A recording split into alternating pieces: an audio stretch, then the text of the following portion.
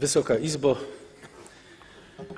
uzasadniając potrzebę y, zmiany artykułu 64 paragraf 2 y, Kodeksu postępowania administracyjnego, projektodawca y, wskazuje, że jest on przedmiotem nadużyć ze strony organów administracji publicznej, umożliwiającym im unikanie rozpoznania podań, zwłaszcza w sprawach skomplikowanych i pracochłonnych.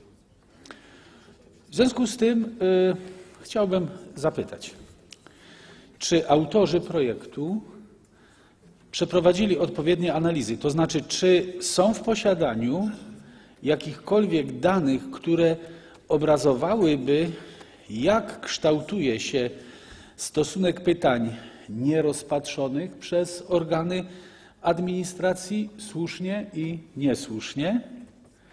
Wydaje się bowiem, że powyższa argumentacja może być, może być, powtarzam, może być nieco za daleko idąca.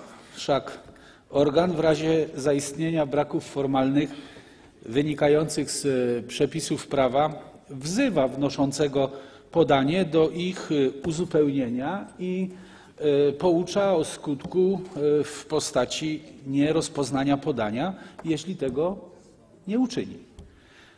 To więc od petenta zależy, czy braki uzupełni i jego podanie zostanie rozpatrzone, czy też organ nie podejmie żadnych czynności.